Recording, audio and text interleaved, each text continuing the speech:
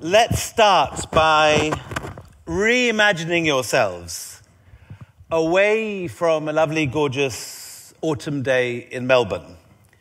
And imagine yourselves instead out on the Persian steppe between Meshed and Herat on a hot summer's night in 1837.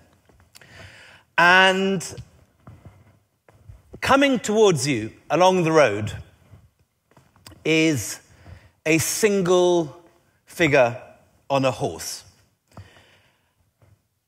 This guy has been riding for two days and a night. And as he's coming towards you, you can see that he's dropping in the saddle. He's exhausted.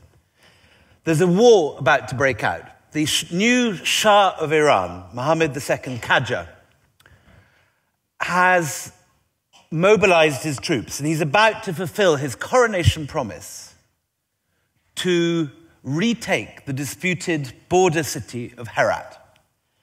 And this young man on the horse, his name is Henry Rawlinson, he's aged about 27. He's the son of a racehorse dealer from Newmarket and has grown up in the saddle. Uh, he's been riding for two days and a night, and he's had enough. He's exhausted. Because the war's about to break out, he can't change his horse at the caravanserais. There's normally a very good system for this. But that's impossible tonight. And sometime, about between two and three in the morning, he falls asleep in the saddle. We don't know how long he's asleep for, but he nods forward. He doesn't fall off, which is an important point. But when he wakes up, after maybe 10 minutes, 15 minutes, 20 minutes, an hour. I don't know how long you can stay asleep on the saddle without falling off a horse. But when he wakes up, he's, the horse has wandered off the highway. And he's in the middle of the desert. And it's the middle of the night. And even at the best of times, this is not the sort of place you particularly want to get lost. Even today, this is what we in Scotland call debatable land. This is the land between two uh, uh, rival polities. Uh, it's the place where brigands and opium smugglers head out. And of course, there's two armies about to break into war, but uh, exactly where you're lost. And so he's very relieved when, after two hours of trying to refine the road and failing, he sees the first fingers of dawn lighting up the Kohi Shah Jahan Mountains ahead of him. And he sees where he is. He's in this broad, open desert valley with hills on either side of him. And just as he's beginning to work out where's north and south and find his way back to the road, he sees what he least wants to see. Ahead of him, coming directly to him, is what at first looks like a, a, a, large dust cloud, but which soon resolves itself into a large body of cavalry heading directly down this narrow valley, and he's in their trajectory. Now, he does what any one of us would do in this situation. He tries to make himself as small as possible. He disappears off down a little side alley uh, and waits to see who these horsemen are. They could be brigands or opium smugglers or the Persians or the Heratis but what he sees changes the history of Central Asia for the next hundred years. And what he sees is, well, actually, before I tell you what he sees, I think we need some, we need a little, um, perhaps a little context to, um, to. Um, so we, this is 1837. This is what 20 years after Waterloo, and Napoleon has been knocked out of the picture. There's now two powers competing to. Um, there's two powers competing to divide Asia between them. And to the south, there's the British, but it's not the British. It is the East India Company. It's not the British government. It's the East India Company. It's a public limited company. It's a very weird bit of history. Because the East India Company is something we've all grown up with, we, we kind of take it for granted. In reality, though, it's, it's a deeply sinister and rather strange institution. It is a public limited company. It has, you know, what things that companies have. It has boardrooms and an annual general meeting and shareholders, you know, making a noise if they don't get their profits, and it has, uh, you know, dividends and all that kind of stuff. But it also has the largest standing army in Asia. There is no modern equivalent. I mean, you have to imagine, I don't know, sort of Halliburton with nuclear submarines or Microsoft with F 16s or something to, uh, to, to, get the equivalent. But um, the East India Company has gobbled up in less than 40 years the entire territory that was held by the old Mughal Empire. They've broken out of their coastal ports of Madras, Bombay, and, uh, and uh, Calcutta. And they've conquered in 50 years more territory than Napoleon ever conquered of Europe. It's an extraordinary bit of history. It's a, company still. It's still publishing accounts every year. It's still giving dividends to its shareholders. Uh, but it's also uh, conquered a continent.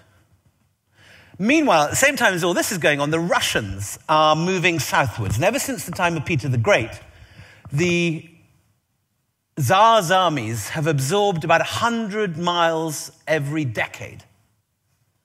Uh, and any old fool sitting in some club in Pall Mall, or any officer in his sort of Anna Karenina world in St. Petersburg looking at a map, can see that these two empires are coming together. And at some point, they have to meet in the middle. And the point they're going to meet is in the unmapped territory that we today call Afghanistan, which at that point is split up.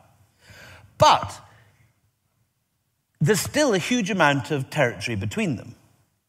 There is on the British side of the Himalayas, if you like, Ranjit Singh's Sikh Empire, which holds the whole of what, what is now modern Pakistan.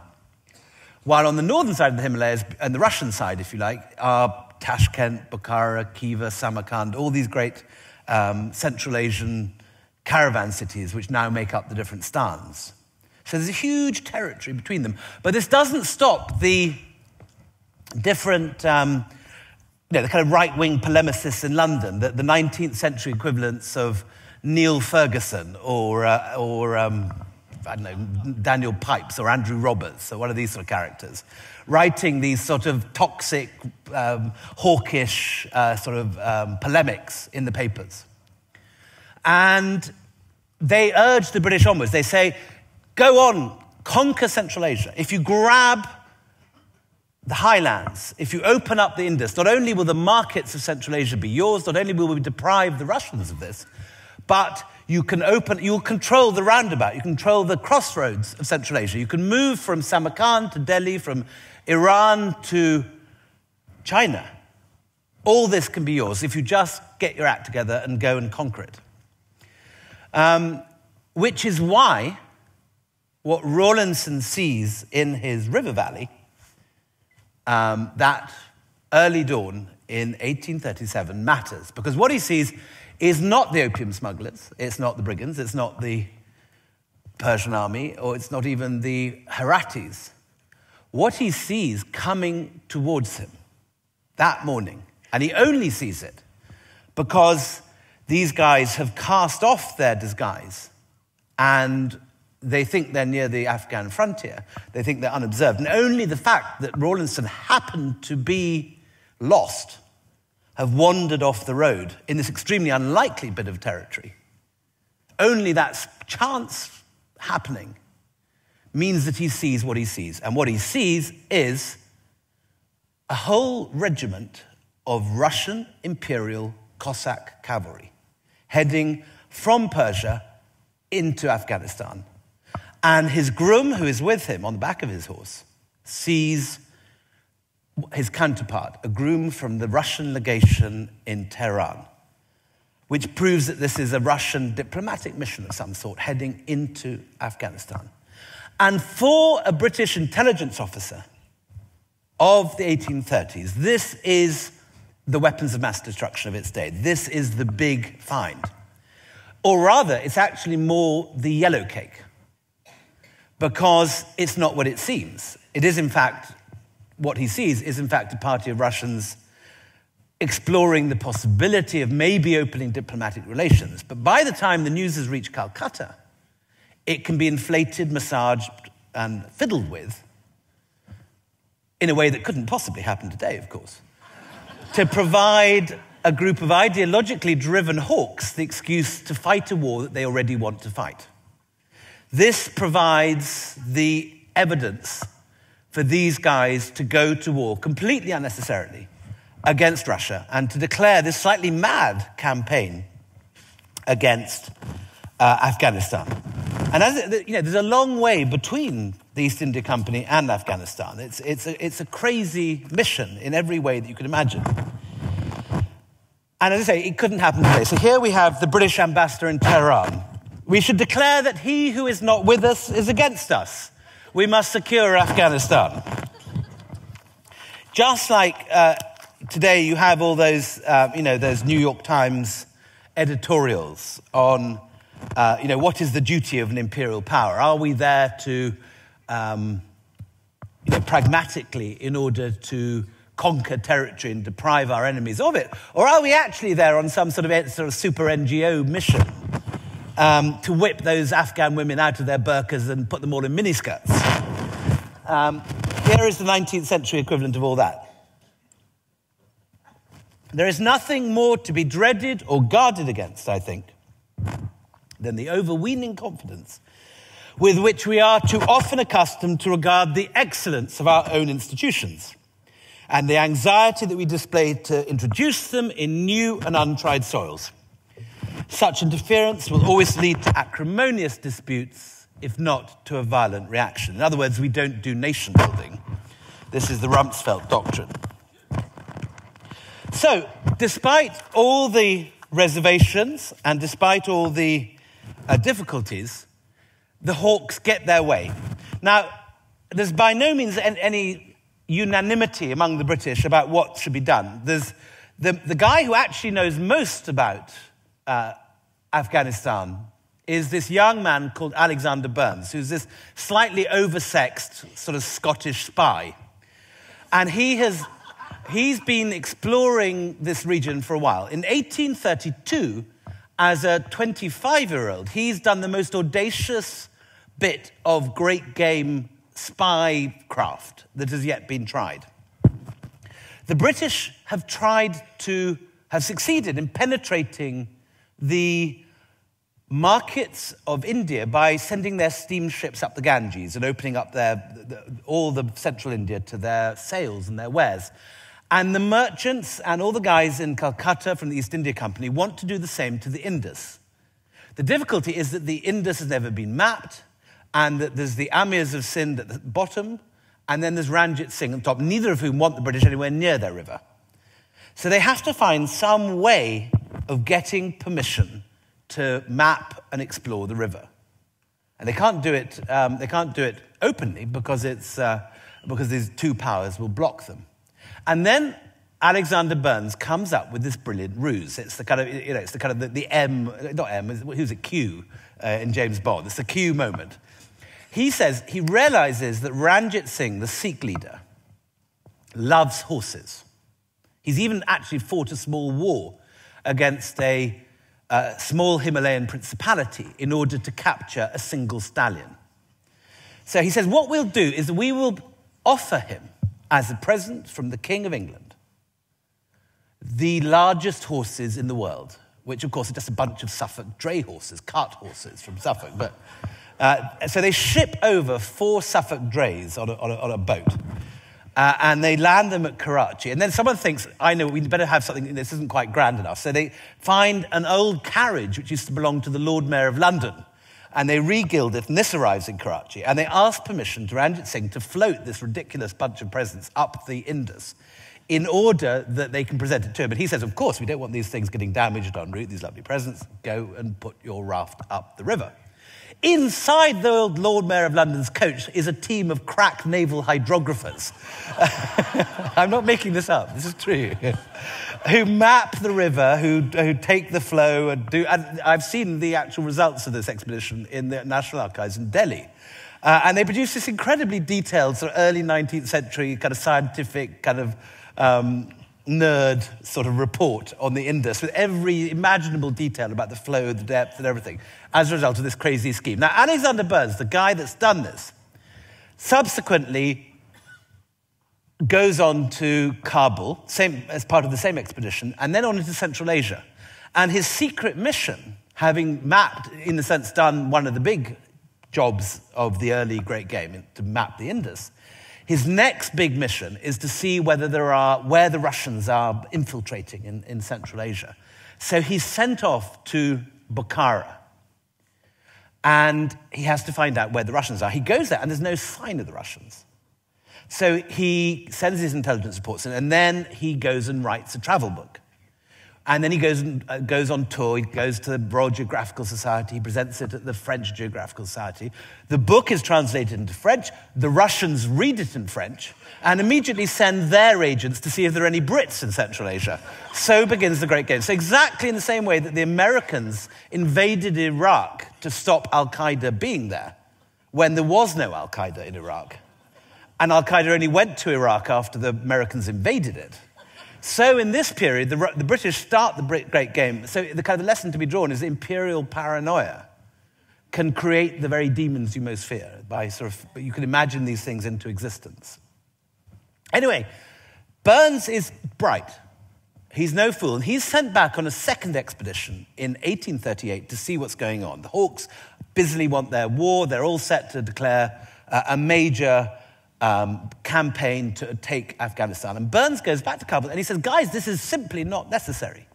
You've got yourself in a great tiz about this Russian expedition, but actually, Dost Muhammad, the man who runs Afghanistan, would much prefer an alliance with the British. A little bit of fancy diplomatic footwork, and we can win Afghanistan with a treaty. We don't have to send a single soldier there. But he's ignored, and largely he's ignored because all his superiors are sick to the back teeth of Burnes.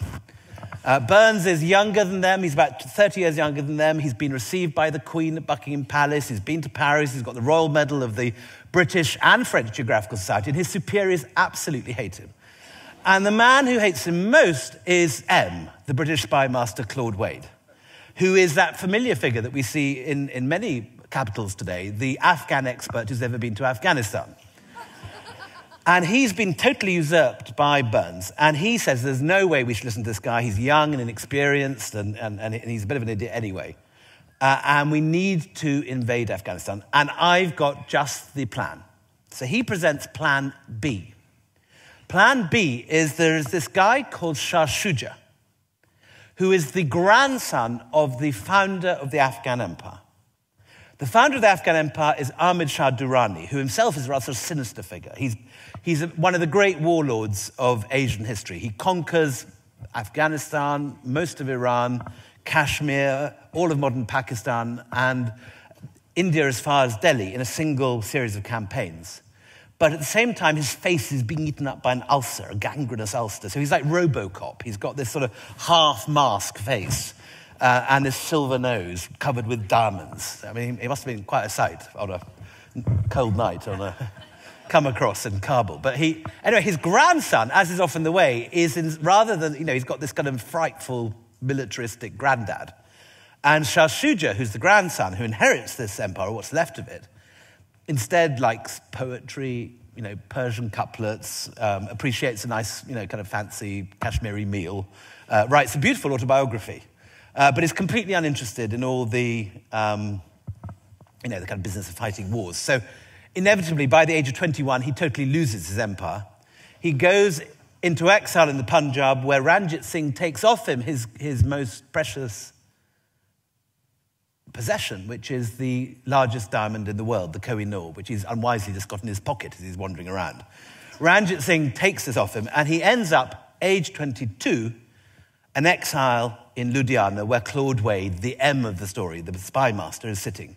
So Claude Wade has been sitting here sending off Kashmiri carpet dealers with mapping equipment rolled up in their carpets and all this sort of stuff, so as to map the Himalayas. Uh, and Shah Shuja has for 20 years been his next door neighbor. So he says, Look, we've got this guy. We've got this guy. We can, all we have to do is put him back on the throne. We can say it's putting back the true monarch of Afghanistan, which in fact he is.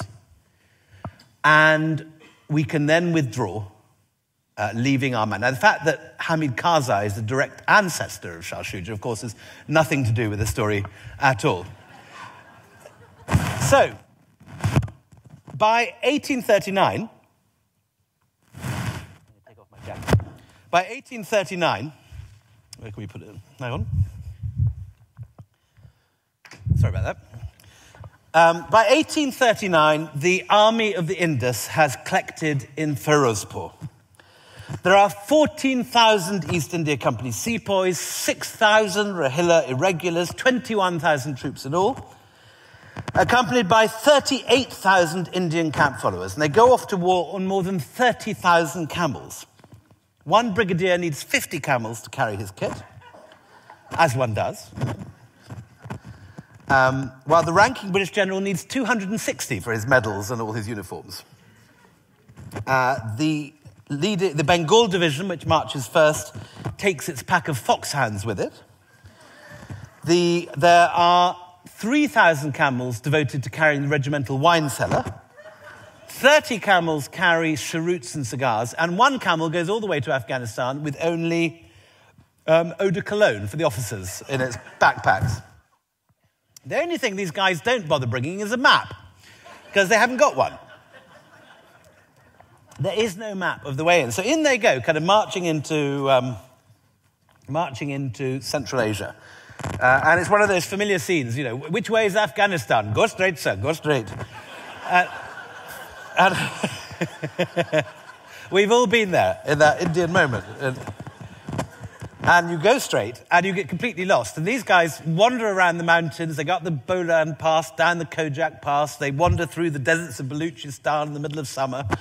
And they lose about a quarter of their troops just through idiocy, incompetence, and, uh, and sort of, you know, the sort of capacity of the British to kind of, you know, do a piss up in a brewery at this point. But nonetheless, such is the momentum of, the, uh, of this enormous army heading into Central Asia that when the remnants of this army debouch out of the Khojak Pass in Helmand, and um, exactly where your Aussie troops are at this moment, uh, and pass through to uh, Kandahar, the tr- rulers of Kandahar flee without firing a shot, and the British take Kandahar and then, luckily, at this point, uh, British intelligence, which, as we know, never makes any errors at all, um, tells them that, uh, uh, that there are no um, fortifications in Ghazni. So they head off uh, towards Ghazni across Afghanistan, only to find that Ghazni is, in fact, the largest fortress in Central Asia. Uh, so they have to kind of blow that up on the way. But that's the one engagement they have. And by, within a month, they've arrived in Kabul Shah Shuja, who left at 21, is put back on the throne at the age of 51. Uh, and everyone is feeling rather smug. Uh, the Russians, meanwhile, have lost an entire army going off to um, uh, try and take Khiva. So the British have scored Kabul and the, and the Russians have lost Khiva. So it's sort of 1 0 uh, to the Raj. Um, the trouble is that in the smugness of this conquest, are sown the seeds of every disaster which is to come. First thing is that Burnes, who knew this was an ill advised expedition and an unnecessary expedition, has been bought off, as Brits continue to be, with the promise of a knighthood. So Sir Alexander Burnes is now the deputy governor. The guy in charge is this complete idiot called William Macnaghten.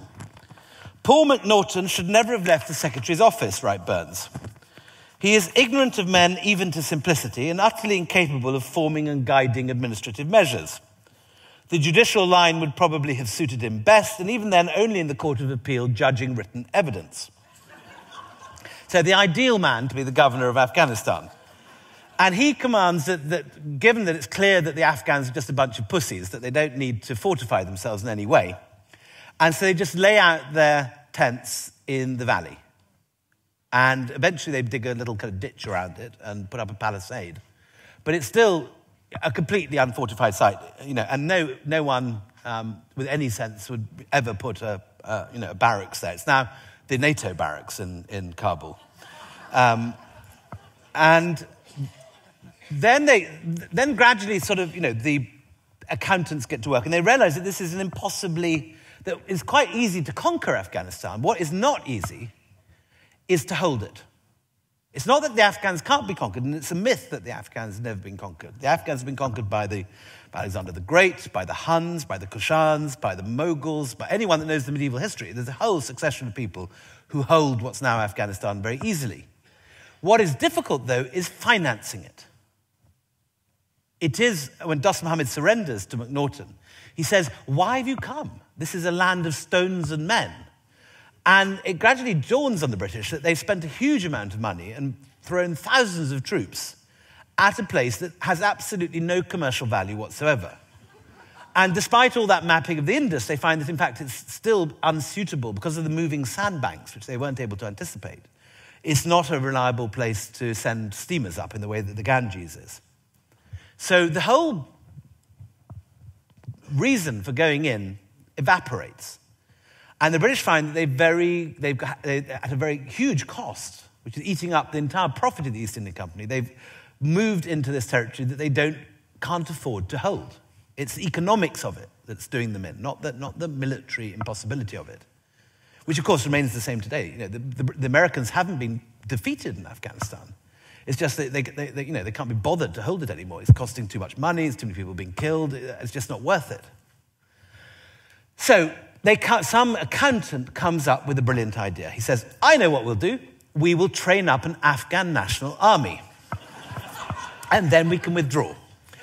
So this is what they do. They train up an Afghan national army. Brilliant idea. Can't possibly go wrong. And, but in order to get the money for this, they have to withdraw the estates from all the, uh, the nobles. Um, and um, this pisses off the nobles who, who want to keep their estates. They're quite happy to have a, a new king who's slightly less effective than the old ruler. Uh, what they don't want is to lose their, lose their um, estates. And then, you know, again, it couldn't happen today. They go off and invade somewhere else. Before they've established Afghanistan, it's not Iraq in this case, it's Hong Kong. Uh, it's the Opium War. 1841, Lord Auckland, the same idiot who opens up the Afghan War, goes and uh, declares the first Opium War on the principle of free trade. We need to have the right to sell drugs to the Chinese. So all the troops are withdrawn from Afghanistan, and Afghanistan is left with a skeleton garrison of only a few thousand troops. It was about 25,000 or 38,000 originally. And now it's down to uh, about 4,500 troops in Kabul. And then everything else begins to go pear shaped. The Afghans don't particularly, you know, pretty xenophobic bunch at the best of times, but they particularly don't want to be under occupation. And there's, you know, these Brits behaving like Friday night in some provincial town in England, spilling out of the pubs, being sick everywhere. There's Indians spitting pan all over the place. Um, and the sepoys, and everyone, you know, uh, the, the Afghans hate both the British and the Indians. And then the British and the Indians start sleeping with the Afghan women. And this is a big, big no no. And Alexander Burnes even seduces the girlfriend of one of the leading noblemen in court. Um, a few, incidentally, a few memsahibs have come up. Lady Sale, who's my favorite character in the, whole book, she comes with her grand piano, her unmarried daughter, and her kitchen garden. She brings all her seeds from Agra and writes, My sweet peas and geraniums were much admired, and in the kitchen garden, the potatoes especially thrive. Uh, but despite that, most people haven't got their memsahibs, and we have this sort of wholesale um, sort of turning of, of sort of Kabul into a pub and a brothel. And this goes down very badly. And when Alexander Burnes starts sleeping with one of the slave girls of Abdullah Khan Achakzai, this is the final straw. Now, I'm sure you know there are similar scenes in Adelaide every day. You know, some guy loses his girlfriend, he goes and throws a few stones through the window uh, of the other guy. In this case, though, being Afghanistan, what you have instead is that Abdullah Khan Achakzai turns up outside Burnes's house with some of his friends. He doesn't throw stones through the window. He sets fire to Alexander Burnes's house. He cuts up Alexander Burnes into tiny pieces. Uh, he kicks his head around as a football and hangs up what remains of the trunk on a meat hook in the bazaar. And then he makes this speech. Now we are justified in throwing off the English yoke. They stretch the hand of tyranny and dishonor private citizens great and small. Making love to a slave girl isn't worth the ritual bath that follows it, but we have to put a stop to it right here, right now. Otherwise, and this is the key phrase, Otherwise, these English will ride the donkey of their desires into the field of stupidity. now, we've all done that in our time, but you know, yeah, it's not wise to do it in, in Kabul. And so all hell breaks loose. The leading uh, Burnes's boss, William Macnaghten, the guy who shouldn't have been let out of the courtroom without judging only written evidence, that guy, goes out and negotiates with the Afghans and gets shot dead by the Afghan negotiating team. Then the leading British general gets onto his horse. This is uh, Sir William Elphinstone, the leading uh, British uh, commandant in Kabul. He's a gout ridden old uh, veteran of Waterloo hasn't seen action in 20 years. He and he only got the job because Lord Auckland wants to go shooting. He has the best grouse moors in the borders. Uh, and um, Lord Auckland wants to go shooting there in his retirement. Uh, so oh, by this stage, Elphinstone is more or less a complete invalid. He gets onto his horse, he falls off his horse, the horse falls on him, and that's the end of Elphinstone. so that's more or less the end of British resistance to the whole, to the whole Afghan uprising. Um, they very intelligently placed all their supplies um, in a uh, fort which isn't inside the cantonment but is near the old city. And the Afghans capture this within the first 48 hours of the uprising. Uh, they then wheel the British cannons up onto a hill above the cantonment and just start shelling the British. And it's all over by the end of November. And there follows about two months of negotiations when the British threaten various things, but the Afghans know that the longer they um, procrastinate, the less chance there is of any reinforcements coming, because by the end of November, or certainly early December, the passes will close, the snows will come. And the British haven't clicked to this. And so they delay these, they procrastinate on, negoci- on negotiations, and by the end of December, there's no hope at all, either of the, uh, the British sending reinforcements from India, or indeed the Kabul garrison being relieved by the outlying garrisons in Jalalabad and Kandahar, which are governed by more sensible generals. Uh, but there's no hope of them getting to Kabul in December. So these guys are completely cut off. There's only 4,500 of them, uh, only 4,500 troops.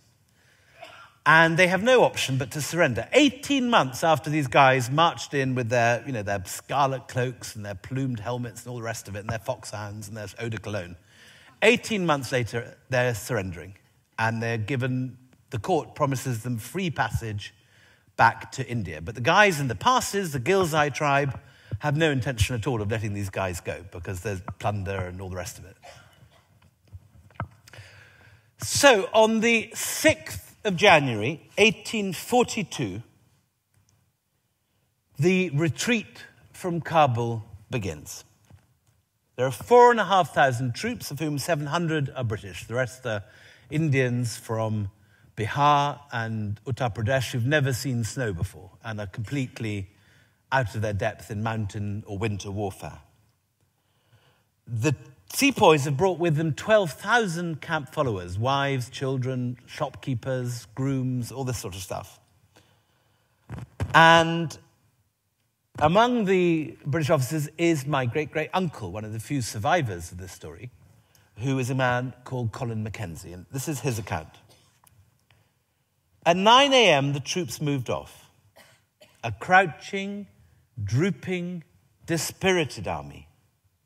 So different from the smart, light hearted body of men they appeared some time ago. The men sank a foot deep in the snow with each step. My heart sunk within me under the conviction that we were a doomed force. I always remember as one of the most heartrending sights of that humiliating day, fixing my eyes by chance on a little Hindustani child, perfectly naked, sitting in the snow, with no mother or father near her. She was a beautiful little girl, about two years old, just strong enough to sit upright with her little legs doubled underneath her hair curling in waving locks around her soft little throat, and her great black eyes dilated to twice their normal size, fixed on the armed men, the passing cavalry, and all the strange sights that met her gaze. Many other children, as young as innocent, I saw slain on the road, and women with their long dark hair wet with their own blood. The rear guard had to fight the whole way to Bagrami and pass through a literally continuous line of poor wretches men, women, and children, dead or dying from colds or wounds, who, unable to move, entreated their comrades to kill them and put an end to their misery. So the British managed to do a second time the big mistake of the beginning of the uprising. They lose their commissariat. First out of the cantonment is the cavalry, then follows the infantry, and finally come the baggage. But the, no one's guarding the baggage. It's sitting on the banks of the Kabul River waiting to cross. The jihadis and all the Ghazis from the town fall on it and seize it. So by the time that the cavalry arrive at the camping site for the first night, they're sitting, all these guys are sitting there in their boots waiting for their tea and their tents and their dinner. No tea, no tents, no dinner. Six o'clock, it's got dark and it's cold, and there's still no tea or tent or dinner. Ten o'clock, it's quite clear that nothing's coming. And the night sky is suddenly lit up with an orange inferno as the cantonments are, are set alight, and there's clearly no going back. The temperature is now minus 30, thick snowdrifts. And these sepoys have never been in snow before. They have no idea what to do in this situation. Now, Colin Mackenzie has his Afghan Jezailchis. These are the guys with their long barreled Afghan rifles, his, if you like, the Afghan mercenaries working for the British. And they know exactly what to do in the situation. They dig foxholes, little circular foxholes for themselves in the snow. And they light a fire in the middle of the foxhole. And then they lie down like, you know, numbers on a clock or petals on a flower or something with their feet facing the fire. And they sit body to body so their body heat keeps them alive. And they cover themselves with all their cloaks, their turbans, any clothing or textiles they have. And it's not a very comfy night, but they still got all their bits the following morning. Unlike the poor sepoys, about half of whom die that night in the snow when it hits minus 40. Those who survive wake up to find that they have their extremities, their fingers and their toes, are like charred logs of wood. They've got frostbite. They're completely incapacitated on night one. There's six days' march through to Jalalabad. And at this point, Akbar Khan, the leader of the resistance, comes up behind them and drives them all into the Khord Kabul Pass, where a perfect ambush has been constructed. The Afghans know that the British Brown Bess musket, which is a vicious weapon that fires this horrible lead slug that won Waterloo, but it only goes about 300 yards. They know that their Jezails, which are much more old fashioned and clumsy things, but with a big charge, they can be made to fire about half a mile. So they just put their Jezails halfway up the mountains. They wait for the British to be driven in. And by this stage, a lot of the sepoys are on their hands and knees crawling because they can't walk. And they can't use their fingers because their fingers are frostbitten. And this mother of all ambushes is sprung on the British. It's a terribly narrow pass. There's only about five or six men can pass through it at a single time. Lady Sale is at the front. The confusion was fearful. We had not proceeded half a mile when we were heavily fired upon. The pony Mrs. Sturt rode was wounded in the ear and the neck. I fortunately had only one musket ball in my arm. Three others passed through my cloak near the shoulder without doing me any injury. The pass completely choked up, and for a considerable period we were stationary under heavy fire. That night, the sepoys and camp followers, half frozen, tried to force their way not just into the tents, but into the beds. Many poor wretches died round the tent that night. Many women and children were abducted. So, 18,000 men, women, and children leave the cantonment on the 6th of January. There's only about 15,000 that make it through the, sorry, 11,000 who make it through the Khord Kabul Pass between the, the first night in the snow and the ambush which follows, about 7,000 out of the 18,000 are killed. They then have to go uphill, up the Tezeen Pass to the highest point in the journey. And there they're caught in a blizzard. And of the 11,000 who go up the hill, only 2,000 come down.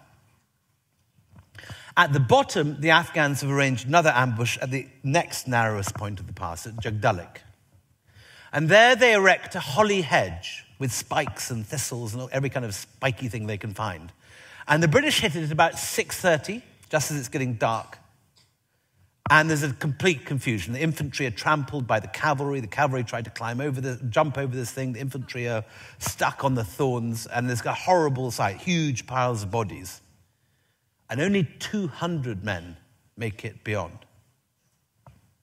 They are surrounded the following day at a village called Gundamuk. Anyone that has read Flashman will know this scene well. And the British form a square which is the standard sort of infantry. They know that they're not going to get. There's 10,000 Afghans surrounding them. So they form a square and they fight to their last bullet, then they fight on with their bayonets, and then they're all killed by one man. The cavalry, there's about 15 cavalry make it beyond this point.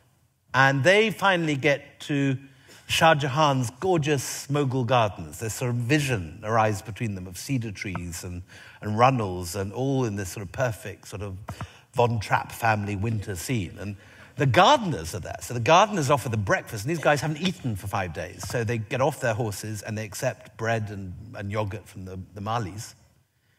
And the Malis club them to death when they're eating their breakfast. One man, Dr. Brydon, the assistant surgeon, makes it through to Jalalabad out of 18,500 who left only six days earlier. He's survived only because he's wrapped up Blackwood's magazine in his hat. It's a literary magazine with a leather binding.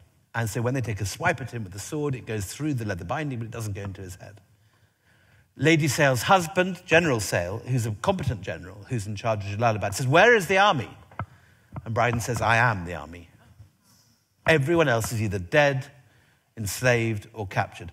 But the Afghans have a very hierarchical system with their captives. The British officer class is taken aside, including my great uncle, Colin Mackenzie, and kept as a hostage because the British have Dost Muhammad plus his harem, and they have to get them back. But the Indian sepoys have got no saviors. The British officers abandon them. There's nothing much they can do, in fact, but in reality, they, they simply give them up to their fate. And the Afghans divide them into two. So there's about 7,000 men who've been taken hostage, who haven't been killed at this point. Of those 7,000, the majority are sim- who have got the frostbite, who are wounded, who are regarded as unsellable. They have their clothes taken off them, and they're just driven out into the snowdrifts to die. About 3,000 are considered commodities and they are sold into slavery to the Uzbek slavers. And the Uzbeks at this period have a particularly gruesome way with their captives. They take a needle that you use for making carpets in Afghanistan, and they sew a horsehair rope through the clavicles of their captives and attach four or five of these ropes to a single saddle, and then they ride off, and your hands are tied behind your back and if you don't keep up with the captive, your entire chest frame is ripped out. It's excruciating agony. And this breaks a man's spirit. Nonetheless, about 50 or 60 sepoys somehow managed to escape. And it's these men, including Subadar Bakht Khan, who start up the Indian Mutiny in 1857. These guys have been abandoned by their officers. They get home and they tell how A, the British have been defeated, and how B, the British couldn't care less about the sepoys. And it's exactly the regiments which were in Afghanistan who are the first to mutiny when the next big thing takes place. Meanwhile, the British hostages are being led off to captivity, bound and chained, including my great uncle. And what they describe is, is scenes of unimaginable horror. We passed some 200 dead bodies in a single hour, writes Lady Sale. Many of them were European, all of them were naked and covered with large gaping wounds. What she doesn't say is that it's standard Afghan practice at this stage to cut the genitals off any soldier and stuff the mouth with them, which is a way of insulting the dead. As the day advanced, several poor wretches of Hindustanis, camp followers who had escaped the massacre of the night before, made their appearance behind rocks and within caves where they'd taken shelter from the murderous knives of the Afghans and the inclemency of the climate. They had been stripped of all they possessed. and few could crawl more than a few hands and yards, sorry, few could crawl more than a few yards on their hands and knees, being frostbitten in the feet. Here, Johnson found two of his servants, and one with his hands and feet frostbitten, and the other had a fearful sword cut on one hand and a musket ball in his stomach. The first had his right arm completely cut off through the bone. Both were utterly destitute of covering and had not tasted food for five days. Wounded and starving, they'd set fire to bushes and grass and huddled together to impart warmth to each other. Subsequently, we heard that scarcely any of these poor wretches escaped from this defile, and that driven to extremes of hunger, they had sustained life by feeding upon their dead comrades. So, scenes of unimaginable horror for the Brits and worse for the sepoys. But for the Afghans, this is their big national liberation struggle. What Washington and Yorktown is to the Americans, what Michael Collins and the Easter Rising is for the Irish, what uh, know, Gandhi and the Salt March is for the Indians. This is for the Afghans. Wazir Akbar Khan, who leads the resistance, now has the diplomatic quarter of Kabul named after him. While Shah Shuja's descendant, Hamid Karzai, is regarded as being from the, the family of Quislings, the kind of Vichy France, which is why Karzai has to distance himself at every stage if he's to be electoral success to, uh, from, the, from his American paymasters. Mirza Atta is one of the great Afghan chroniclers of this. And already, he's writing in only 1844, two years after this, but already the numbers are growing and the story is, is sort of marching off. It is said that 60,000 English troops, half from Bengal, half from other provinces, without counting camp servants and followers, went to Afghanistan. And only a handful came back alive, wounded and destitute. The rest fell with neither grave nor shroud to cover them, and lay scattered in that land like rotting donkeys. For the English love gold and money so much that they cannot stop themselves from laying their hands on any area productive of wealth. But what prize did they find in Afghanistan except on the one hand, the exhausting of their treasury, and on the other hand, the disgracing of their army? It is said that 40,000 English troops had been in Kabul. Many were taken captive en route. Others remained as cripples and beggars. But the rest perished in the mountains. Like a ship sunk without trace. For it is no easy thing to invade and occupy the kingdom of Khorasan. These English had hoped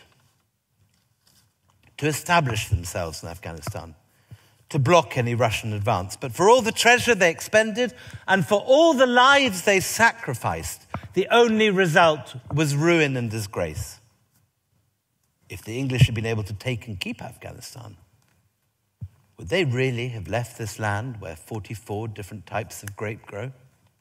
And other fruit as well apples, pomegranates, pears, rhubarb, mulberries sweet watermelon and muskmelon, apricots and peaches, and ice water. Ice water that cannot be found in all the plains of India.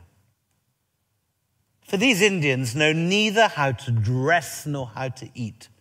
God save me from the fire of their dal and their miserable chapatis. So, uh, Mirza Atta signing off on Indian cuisine. So, Anyway, the, um, the British can't let this go, so they send in the army of retribution. And this is the most sinister moment in the whole story. The minute the spring thaw comes through, General Pollock, who's the one really competent army general in India, is sent up from Peshawar. He waits until every sepoy has got 3,000 rounds. He's got everything ready, every bullock, every camel is all, the whole thing is properly organized at long last. But when he gets up the Khyber Pass, he destroys every village, he cuts down every tree, he burns every field, he dynamites the main bazaar in Kabul, and he leaves Kabul, which up to this point had been the main bazaar in Central Asia. The, and we, we don't have this memory of it, but it, is, it was greater than Samarkand or Bukhara or Khiva or any of them. This was, the, what he dynamites is the great bazaar built by Ali Mardan Khan, who's Shah Jahan's general. It's built at the same time as the Taj Mahal and almost as magnificent. Pollock attaches dynamite to every spandrel, to every arch, and he blows the whole thing to bits. And then he marches out. Meanwhile, Dost Muhammad, the man the war the fought, was fought to get rid of, is released from house arrest in Dehradun, and he meets with the, the new viceroy, Lord Ellenborough. The old viceroy, Auckland's been sent home in disgrace. And all he has is a, some town in a place called New Zealand to, uh, to commemorate him today. So Ellenborough meets Dost Muhammad at the border and says, basically, look, chum, you go back and clear up the mess we've left. If you trouble us again, or if you make friends with the Russians, we'll come back and we'll blow up your country another time. If you leave us alone, we'll leave you alone. And Dost Muhammad keeps to that. He doesn't break that. Even when the Indian Mutiny breaks out a decade later, he's called by the rebels who say, Come in and, and, and uh, come and help us. He doesn't. And the British actually arm him in later years. And he consolidates his territory. Initially, he has only Kabul, then he captures Jalalabad, Kandahar, Ghazni. He captures Mazar-e Sharif and the Hindu Kush. And finally, in 1862, he captures Herat. And by the time he dies, Afghanistan has the same shape on the map that it does today. As we speak, the CIA are busy negotiating with the Taliban, the people the war was fought to get rid of in 2001. A kind of perfect arc of idiocy over 170 years. When I began writing this story, I thought the two things I needed to do was A, to find the Afghan sources, which turned out to be incredibly voluminous. There's two epic poems, and there's, there's three court histories, there's um, Shah Shuja's own memoirs, none of which, for, any, um, for no conceivable reason that I can see, has ever been translated into English before. So this book, which tells a very old story, at least tells it in a new way with the Afghan sources. But the other thing it seemed it was necessary to do was to retrace the route of the retreat, as well as visiting all the places in the story. Because without that, you can't, you can't give any, any kind of comprehensive or true picture of it without understanding the geography. But today, Gundamuk, where the last stand took place, where the British formed that square, is under a mountain called Tora Bora, where a more recent uh, last stand took place. And today it's the heart of Taliban territory. So I couldn't see how I was going to get there. And I had a very lucky break on my second day in Afghanistan when I got arrested by the secret police, which isn't something that initially you particularly welcome. But it turned out that the head of the secret police, a guy called Amrullah Saleh, had read my last book, Last Mughal, and didn't like it. and he called me in, and I got sort of half, something between a kind of interrogation and a bad book review. Um, and he said, This book, very bad book. He said, This time you'll do it better. And he produced out of of another room this character called Anwar Khan Jigdalik, who, who, who was the, the, the ex champion of the Afghan Olympic wrestling team. I'm not taking this out. Who was a, who was a Mujahideen commander. Was about 18 foot tall by about 20 foot wide. And um, he said, This man will take you. This man will take you. So off we went, Anwar Khan and I, with all his merry men in a bunch of pickups, off to Tora Bora.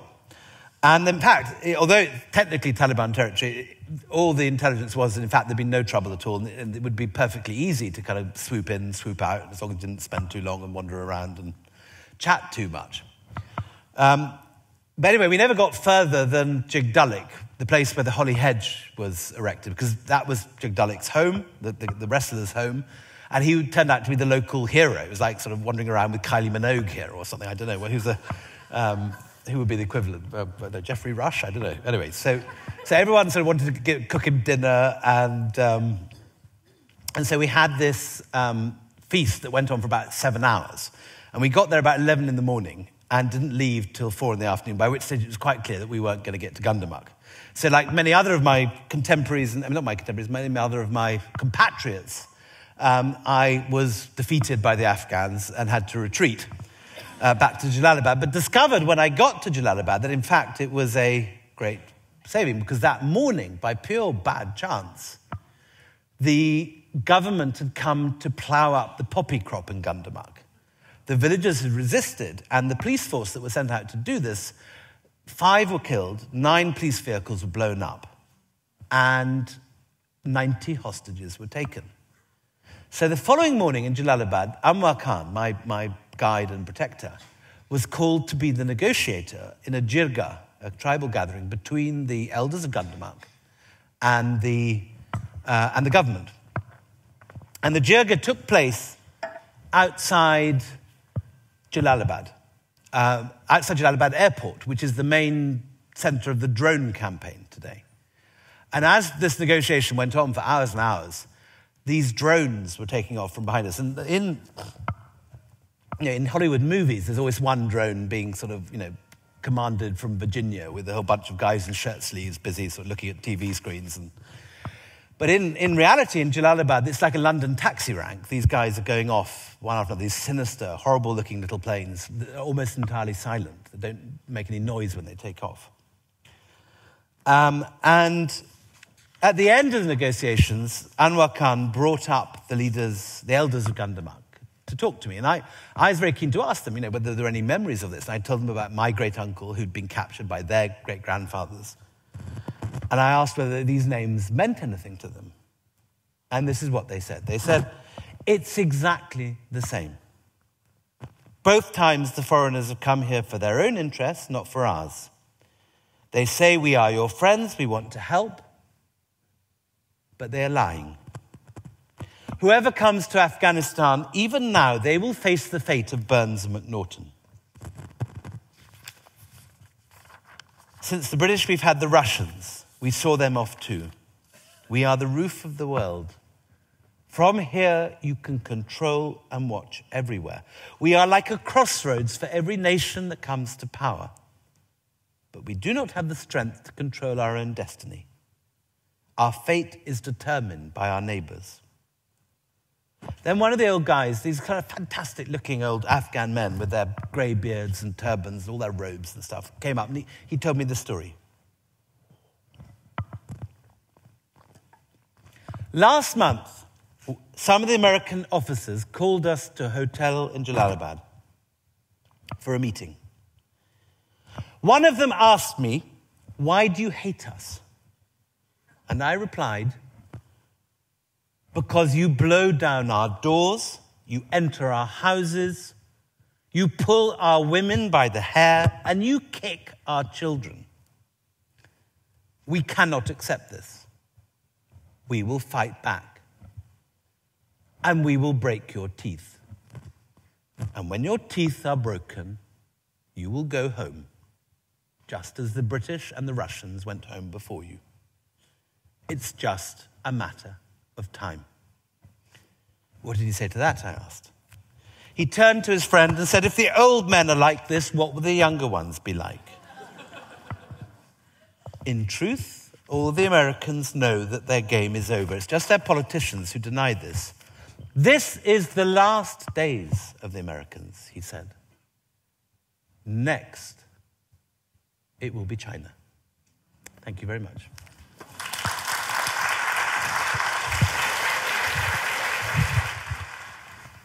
Thank you for your marvellous book. I really enjoyed it. Um, I'm curious, I know what happened to Lady Sale. You said that in the book. What happened to her daughter? I don't know. Um, I know what happened to, to, Lady Sale and her husband. Um, the husband and Lady Sale both become a circus act in Astley's Circus, which is the kind of uh, EastEnders of its day. And um, then Sale is killed in the Anglo Sikh War of 1845.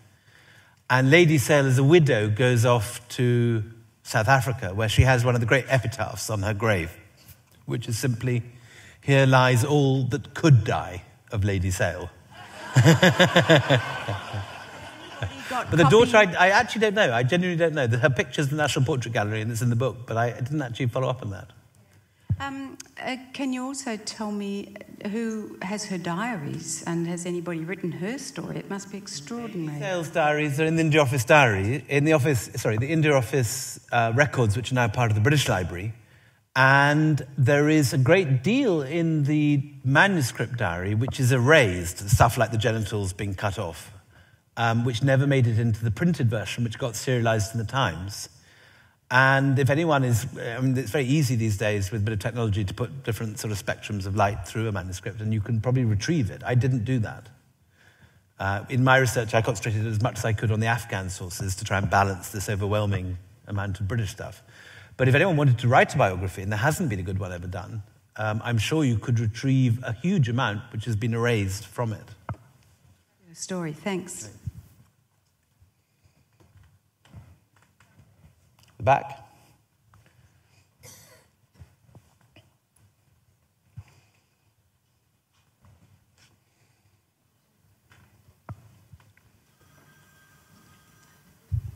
Um, if I might be permitted to ask a question that relates more to another one of your books, um, From the Holy Mountain, which is my favourite. Um, would you care to comment on what might be the fate of the Syrian Christian community in the event of the fall of the Assad regime? Not looking good. Already, the Armenian Christians have emigrated en masse. The Armenians sent a few um, airliners to Aleppo uh, and, they've, and they've airlifted the Armenian um, Christians from Aleppo. The Syrian Christians are stuck. I mean, it's extremely unlikely, I think, that the Assad regime will survive ultimately. Numbers are against it. And the, the likelihood is we're going to see a further emigration of, of the Middle Eastern Christians, um, which is exactly what's going on at the moment in Egypt. A lot of them are coming here. Uh, uh, Australia has been good to the Middle Eastern Christians, and there's large communities here in Melbourne, I think mainly Lebanese here, and uh, a lot of Copts in uh, Cairo, in uh, Sydney. Um, but again, another story which um, would repay um, more uh, journalism here.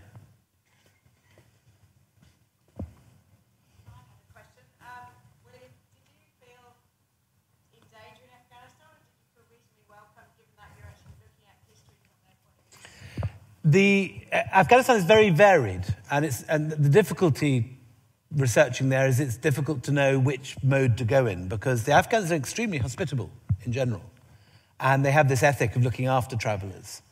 And so if you go to them, they will risk, you know, if it all goes well, they'll risk their lives protecting you. And a lot of the places, a lot of it's fine. I mean, Kabul is like a French finishing school. It's full of French, gorgeous French girls, sort of, you know, working for NGOs and handsome, handsome French archaeologists and this kind of stuff.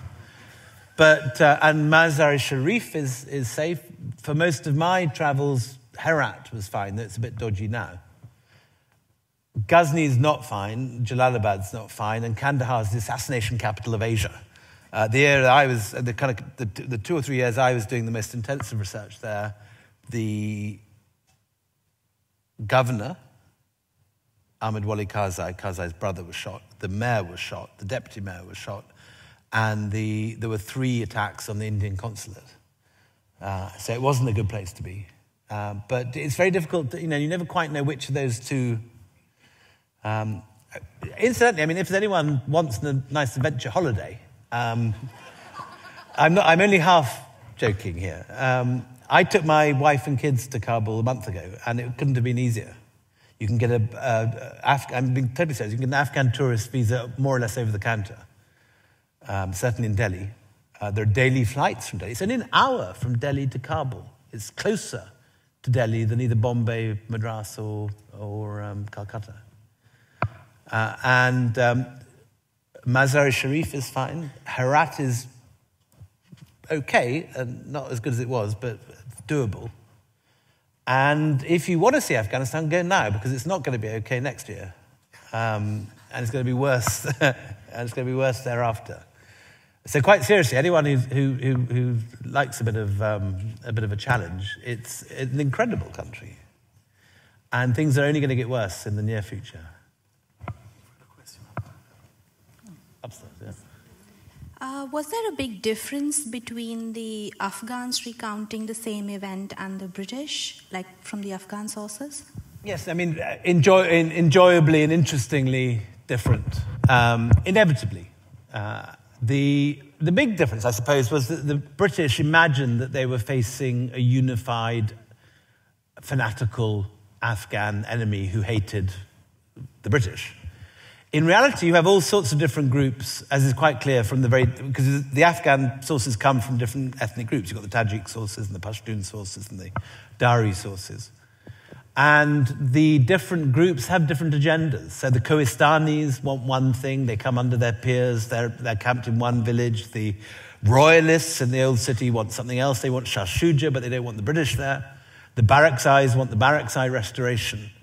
And the British completely miss this. I mean, one of the reasons they lose is that despite the fact they've got lots of good Dari and Urdu speakers, much more than the Americans or the British have today, uh, they don't get the fact that there's very clearly different groups after different things. Also, you have a very nice reversal of Orientalist stereotypes. The British, you know, see these as treacherous, bearded, fanatical bigots. Um, the Afghans, rather nicely, see the British as treacherous, duplicitous, child, women abusing terrorists. Um, the way that the British turn, you know, use the women of Afghanistan. And there's an awful lot of Afghan polemic about how the British don't know how to treat women. Um, which, given how this sort of, sort of you know, pseudo liberal um, rhetoric about the miniskirts in Kabul um, is rather nice and Burnes, who in all the great game books, and Peter Hopkirk, and I mean, I love Peter Hopkirk, but you know, is nonetheless this sort of very heroic British spy. He is the devil in the Afghan sources. And he's the devil in the, in the kind of you know, Master and Margarita sense. He's a gentleman. He's good looking, but he chains the nobles in chains of gold and drags them into the pit of hell, is one of the, what the Afghan sources say. Um, so yes, it's, a, it's, it's, you know, it's the perfect mirror image. Alexander Burnes, incidentally, is the Scottish poet Robbie Burns' cousin. And as, as, as Robbie Burns says in To a Field Mouse, allow ourselves to see us as others see us, uh, which is what the Afghan sources allow us to do. Uh, your book is on the first Anglo Afghan War. Were there any subsequent Anglo Afghan wars? This is our fourth lost war in Afghanistan. Um, we really, as, as Aldous Huxley said, the only thing you learn from history is that no one learns from history. when are you going to write a rollicking story on the East India Company? Well, this is my third East India Company. I've done a kind of East India Company trilogy. There's three of them now. There's White Mughals, Last Mughal, and this one. Um, so, but I, uh, it's an overall one. Um, I, think, I think you really probably need to be an economic historian to do that well. John Keay's written a very good one called The Honourable Company, an overall view. Um, but um, it is an extraordinary institution. Thank you. He survived. He was a hostage uh, and quite a lot of the British officer class survive. There are about 250 hostages taken, and they are basically exchanged for Dost Muhammad and his harem. Um, and he survives. And he then gets posted in Peshawar for the next 20 years because he speaks Dari and Pashtun by this stage. And when Dost Muhammad comes back, he very ruthlessly purges as the opposition, which includes his son, Akbar Khan, who's poisoned, probably on his orders, and almost all the people who hold the hostages. And each successive um, noble who is, uh, is fallen out of favor ends up in Peshawar, which has always been the eternal refuge of, of Afghan refugees, uh, and takes shelter with, uh, with Mackenzie. Yeah, same question. Yeah. On that note, I might ask those of you who still have questions to save it for the signing queue, and the rest of you to join me in rapturous applause for the wonderful William Dalrymple.